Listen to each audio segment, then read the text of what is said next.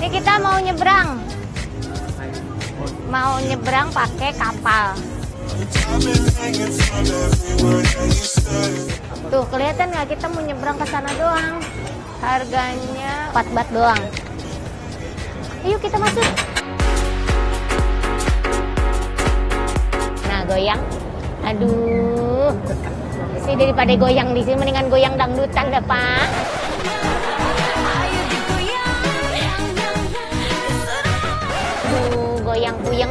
Puyeng goyang. Eh goyang lagi.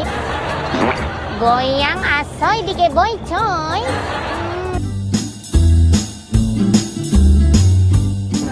Ternyata sih. Kenapa dia? Dia puyeng naik ini, terus dia bilang lihat lihat saya biar nggak pusing, terus dia mual. Masa madu yang kemarin berhasil ya? Oke, berarti saya udah nggak pusing pak. Udah nggak pusing ya? Jadi udah boleh bergaya ya. Oh, udah. Oke, kita.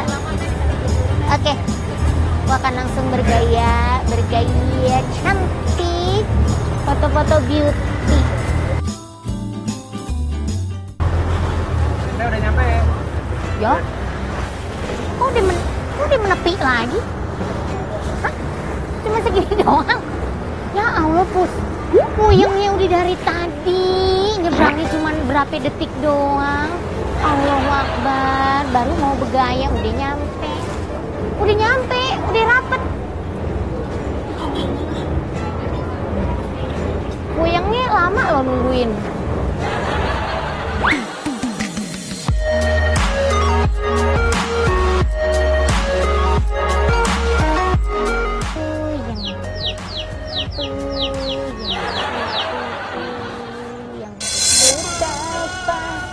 Melengasiku.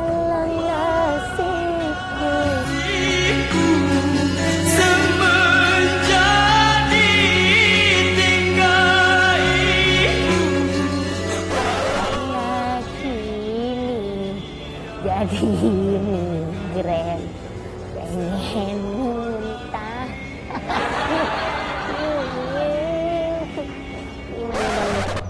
wah ya ampun tuh coba? Aduh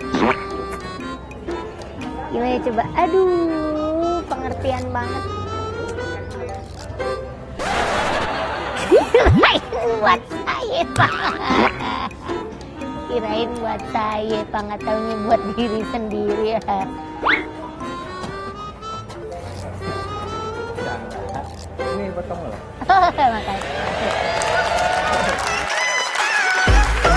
Akhirnya kita sampai di tujuan terakhir, yaitu Wat Arun.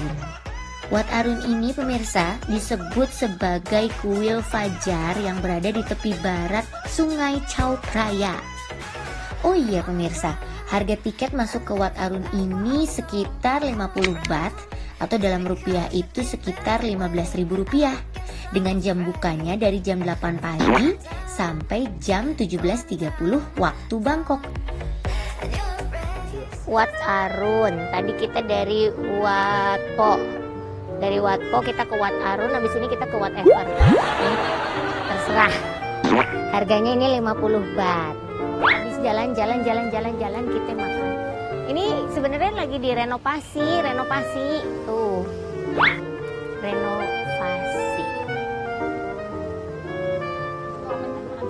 Habis ini aku mau makan siang. Aku lapar aku migrain aku aku lapar aku migrain aku galon aku hayu ah.